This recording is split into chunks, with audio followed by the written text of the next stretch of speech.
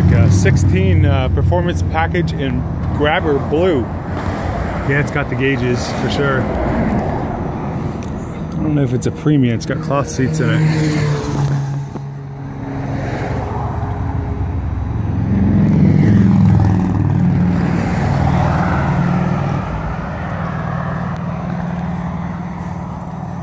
Yeah, definitely a performance package car. No stripes, striped delete.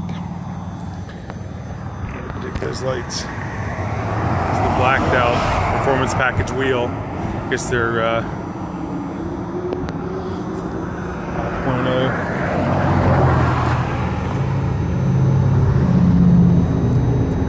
Thirty-six thousand. Wow.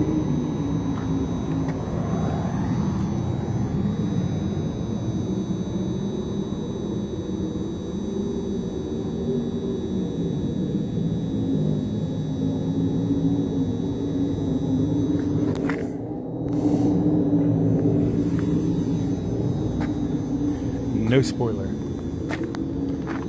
Negative on spoiler. I like the color though. It's pretty cool.